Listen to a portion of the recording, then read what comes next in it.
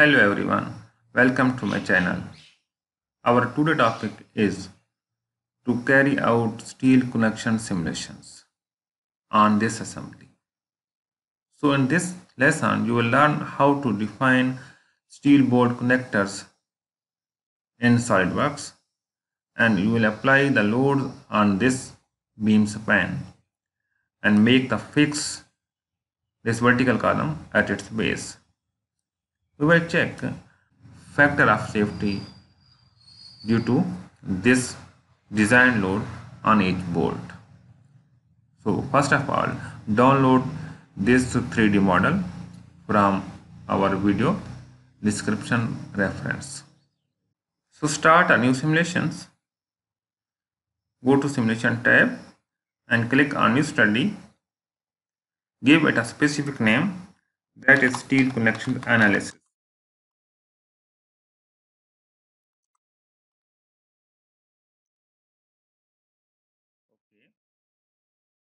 You will assign material to those to these both parts. So click on the part, right click, apply materials to all and ensure that steel material has been assigned to these both parts.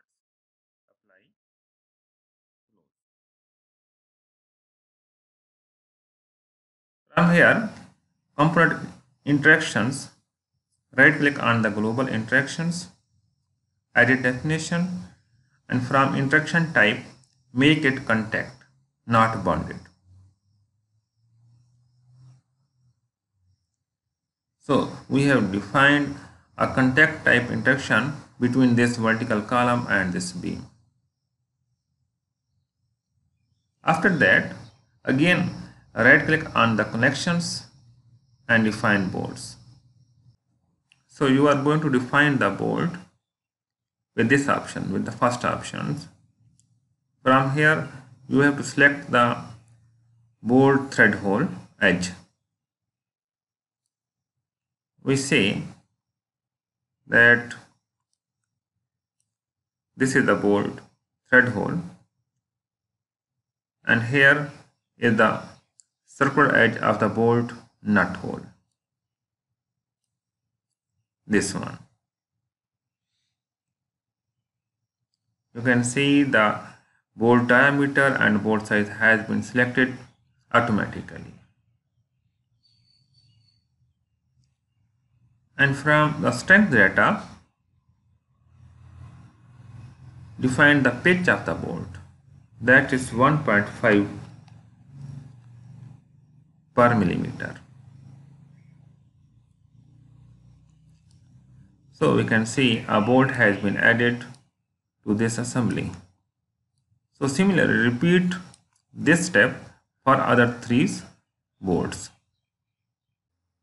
now you have defined four bolt connections. It's time to apply the fixtures. Go to fixtures and select fixed geometry. Select this base of the vertical column. Apply.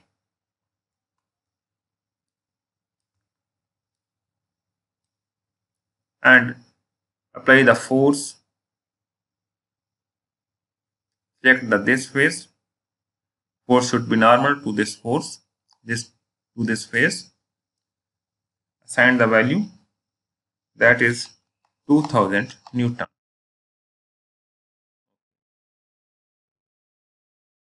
create a curvature based mesh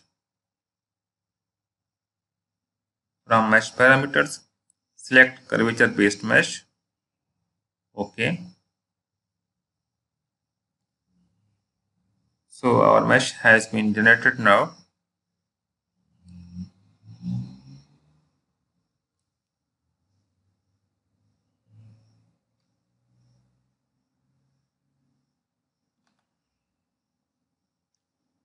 So run your study and wait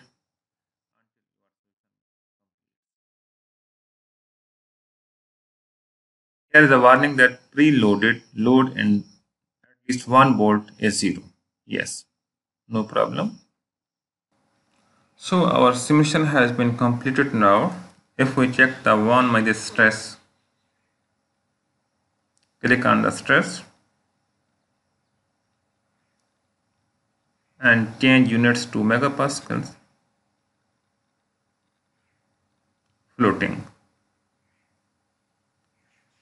So maximum stress occurs on these both parts is 150 megapascal. That is less than the yield strength of the materials. If we check the displacement, that is 0.7 millimeter. You can increase the scale up in order to realize the deformations.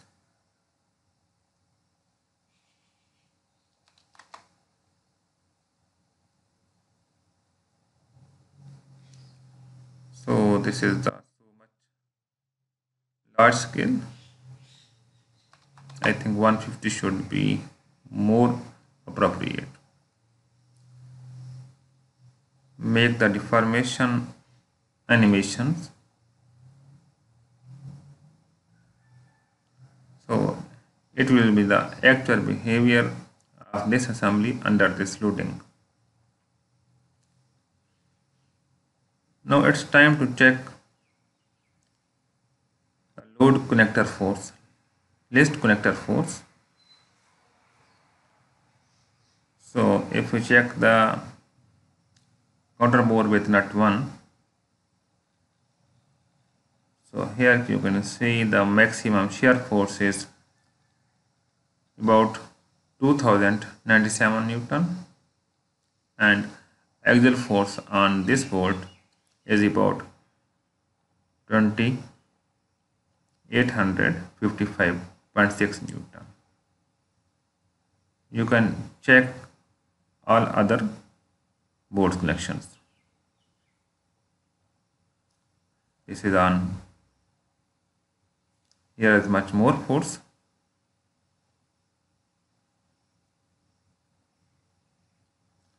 Bolt connector 3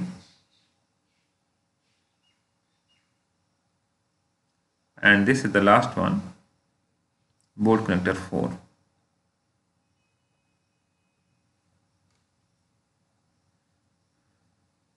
so axial force on the bottom bolt connector is less that is about 1185 Newton. Similarly, we can check the factor of safety for each bolt. Again, right click on the result types and from here define click on define pin bolt check plot. Okay. You can see that there are the no warnings. Okay. Factor of safety for this is 18.24 and for this bolt is 11.4 and for this bolt is 11.2 so one question is here. We used four bolts but here are the three boards. actually we had not defined the strength or pitch size for this board. So if we don't define the strength data or strength box, then we cannot evaluate the factor of safety. So I hope you enjoyed this lesson. Please subscribe this video and give your comments if you have any queries or any suggestions. Thank you for your time for watching this SolidWorks simulation tutorials. Take care. Bye bye.